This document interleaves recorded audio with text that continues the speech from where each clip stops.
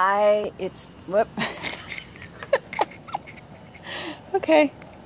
I guess it doesn't do any good for me to plug my earbud in uh, if it's laying on the table. so, hi, it's Lynn, and welcome to Empowered and Ageless Five to Thrive. Five minutes, five days a week to start your day off in an empowered way. And today we're talking about honoring the inner intelligence that you have inside of you. And yesterday, if you were watching, and I was talking about being in a state of awe, living from a place of awe and inspiration, reverence for everything that's around you. And you may have been wondering, okay, that's great. I'd love to be happier and feel joy in my life all the time, but I also want to make money. I want to have more money. I want abundance in all areas of my life, including financial abundance. Well, it's all tied together. You don't necessarily get one kind of abundance without having abundance increase in every area of your life unless you personally have specific areas where you have blocks that you're not dealing with. And that comes from your belief system and your um, self confidence and self esteem that creates those blocks. But naturally, abundance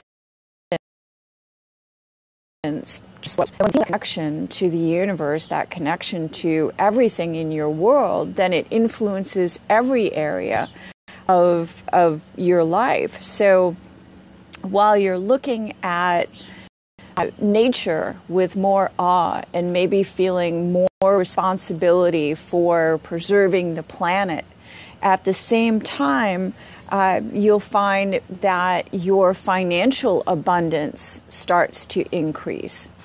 And in the beginning, it might be just little pops here or there, a little bit here, a little sign there, a little sign over here. And you'll see these signs if you're in tune with yourself and you're paying attention and you're looking for signs that say, yes, your abundance is growing, you are shifting, you are changing, things are, are getting better in every area of your life. And uh, this morning, my lesson in Change One Thing which I will put a link in um, after this video that will show you where you can get your copy of Change One Thing, Change Your Life. And it seriously will change your life. Um, but I just want to read you a little bit part of this. It says, your connection to financial abundance all of a sudden becomes crystal clear. We're talking about when when you have this connection with your inner intelligence, building on what we talked about yesterday about living from a place of awe. Your relationships will reach new levels of depth and understanding. You could see an increase in the material things you draw into your life, and at the same time, a decrease in your need or desire to have them. Isn't that interesting? That just when um, when you're getting these things that up until now you thought were very important for you to acquire, to have, uh, that it wasn't so much about being and doing, it was more about having. And once you have those things, you realize that, yeah, they're nice, but they're not important to you. So you can have more of all of those things that give you a rich and full life, that allow you to have fun with all your toys. But at the same time, you're not putting importance on those things. You're not valuing those things more than you're valuing the experiences that you have. So that's that's what I'm talking about when I when I wrote that. And um, you may notice that you are coming up with new creative ideas on a regular basis.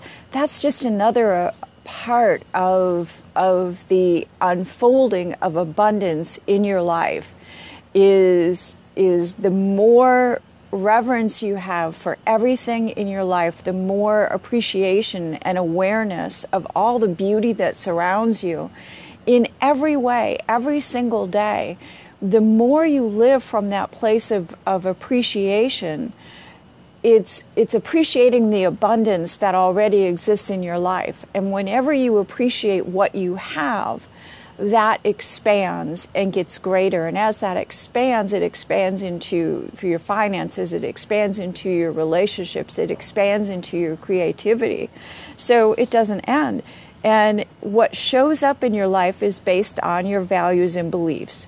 You can be certain shifts are taking place to increase your level of abundance. You will gain self confidence and find yourself feeling happy for no apparent reason a lot more often. And it's it's something that you can actually feel in your body. The more you focus on appreciation, of what you already have and noticing the little things, noticing the beauty around you, you will start to feel those endorphins percolating in your body. And the more you feel that, the happier you are. And the happier you are, the longer you want to be that happy. So the more you stay in that state of abundance and appreciation. And it's just this constant cycling and up leveling of your energy and your appreciation and your happiness.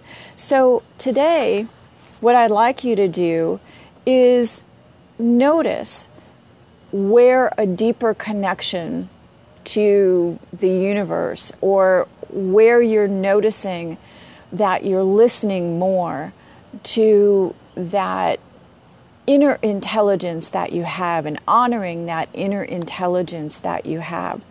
And think for a minute how you're relating differently to the environment around you.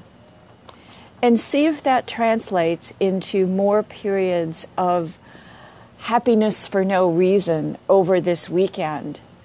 And uh, journal about it. If you aren't doing a gratitude journal, that's one of the best things that you can do every day is to write down three things that you're grateful for because that kind of cements in this whole theme that we're talking about. And when you're honoring that inner intelligence, the more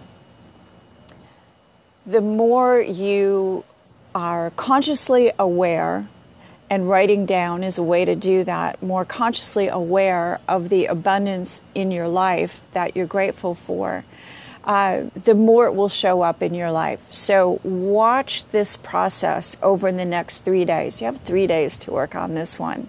And I'll see you back here on Monday. Until then, this is Lynn Pierce saying, Be ageless. Bye.